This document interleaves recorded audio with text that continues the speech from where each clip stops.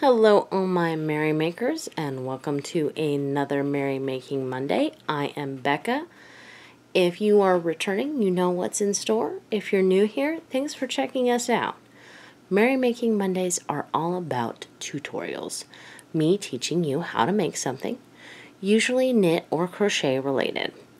This week we are continuing in the tutorial slash knit along of the pattern by Yarnspiration. It is called the Brioche Cable Knit Hat with the Caron Pantone. Um, I will be linking that pattern down below in the prescription. I am not, I may have just said prescription. I meant say to say description. Prescription, description. Anyway. I lost my train of thought. I am not affiliated with Yarnspirations, but I do have permissions from them to do this tutorial as long as I give them credit and provide links as I have. So without further ado, as I put my phone on silent, um, we are going to be doing the repeats of rows 3, 4, 5, and 6 this week. So grab your knitting needles and your projects and let's get started. Alright, and I go through this anytime, anytime I go through this every time because there's always hopefully new people watching. This is not only my row counting row counter, but my editing tool that I use so that editing is much easier. Before we begin, I'm going to go ahead and zoom in on this pattern number in case you want to search for it yourself. And then that is the actual name of the pattern. And yes, this has gotten wet a couple of times. Alright, so we are stoting. Apparently we are stoting on row 3. And apparently I have lost my beginning of row stitch marker. That's just fantastic. Um, that is not going to work for me. Let me see something.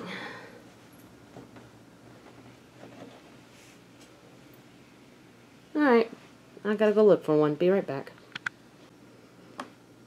Alright, this time with more feeling. So a lot of things have been moving around um, as I go through my inventory and organize things, so Probably what happened is this got jarred and I didn't put my stoppers on it, so it lost its beginning of round stitch marker. It's not the end of the world. We just put a new one on. Alright, so for this, for the tutorial, uh, we knit with the um, pink for this. And row 3 starts is a basic brioche knit row where you knit two together, bring the yarn front. While the yarn is in front, you slip the stitch purlwise, you wrap the yarn back around to create a loop so that you can knit two together for the next stitch. Oh, and I almost forgot to say, I'm a continental knitter. I'm a right-handed knitter. Anyway, you will continue to do that all the way around until you reach your beginning around stitch marker. I will meet you there. Okay, who's ready for row four? Alright, before I start my even row, because I'm following this uh, to a T, I'm going to put a little check mark. We're almost ready to change colors again. Alright, so row 4 is a purl row. And for the purposes of this tutorial, the purl row is the white one. And uh, this is just your standard brioche purl row where you bring the yarn front, purl the stitch with the yarn in front, bring the yarn around the needle to create a second stitch. Then, the next stitch, you purl two, ooh, I hit the camera. You purl two together. I'm going to show you that again. Bring the yarn front. Purl the stitch with the yarn in front. Bring the yarn around the needle all the way around to the front so that you're ready to purl two together. You're going to do that all around until you meet the stitch marker. I'll see you there.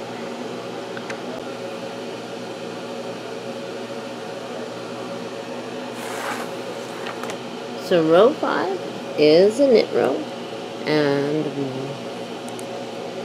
for us we knit we're knitting with the pink right now and it starts with a brioche double decrease. And the brioche double decrease is worked as you pass the first stitch as if you're going to knit it pass the second stitch as if you're going to knit it. Then you knit the third stitch the two together then you take these three loops and you pass them back over the stitch you just knit. Alright, then it says to slip one purlwise with yarn in front. You bring the yarn back to the back so you can knit again. Then it says knit two together, uh, yarn over, knit all in the same two stitches. We've done that before, but in case you're new, it may look strange to you. Then you have yarn front, slip the stitch purlwise with the yarn in front, and then you knit two together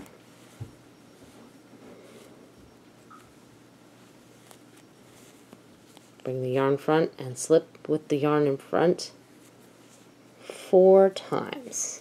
So that's one, two, three,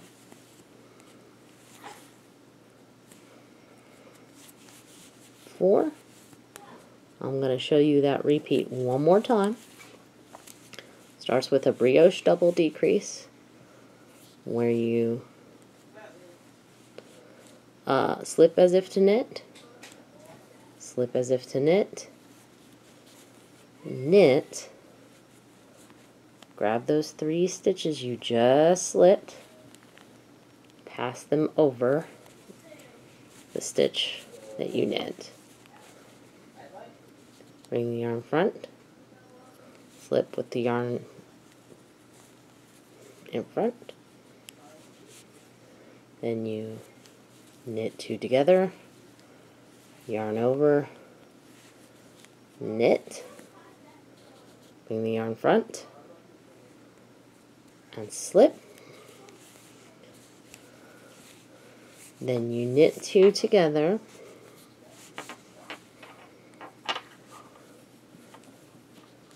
bring the yarn front, slip the stitch purlwise four times. One, two, three,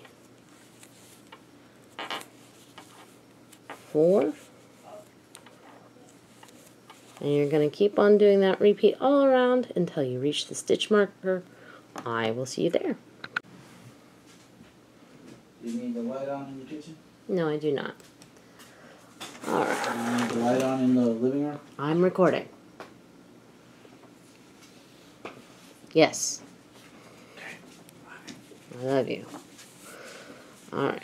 So, row number six is a purl row, and the only reason it's different is because of this uh, increase.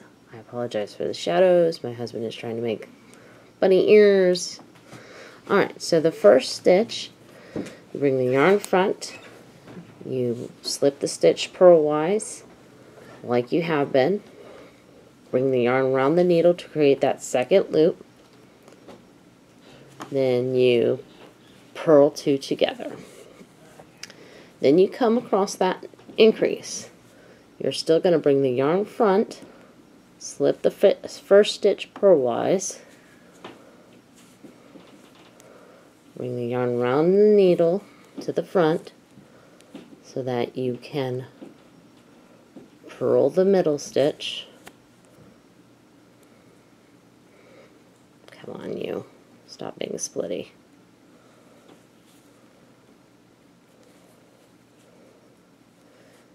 And then bring the yarn front, slip the next stitch, bring the yarn around the needle to the front so that you're ready to purl two together.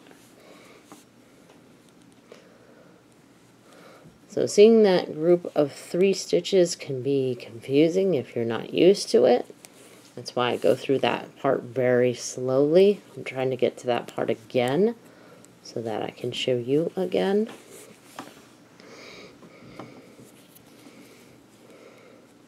I'm just having my yarn around the needle as I slip, bringing it front so I can purl two together for the rest of the the stitches. Alright, we're getting close, I can tell. Because I can see the double decrease right there. Which we treats just like a normal solo stitch with the yarn in front. We're slipping it purlwise, wrapping the yarn around the needle, bringing it to the front so that we can purl two together.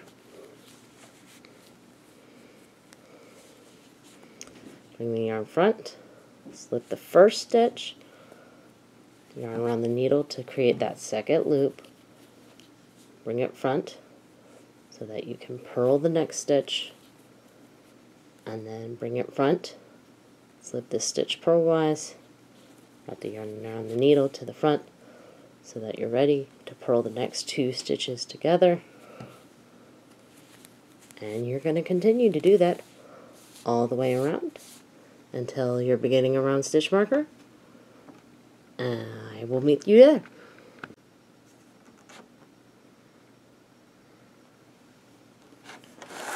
Ah. So when I come to the end of the recording for each week, I like to show you this just because it is so important. But um, when you get to your last stitch of your round, it is quite possible that whatever your contrasting color is, is just laying loosey-goosey here off your needle. Make sure you wrap it around the needle so that you're ready to purl two together at the end of your stitch, or at the end of your row. Alright,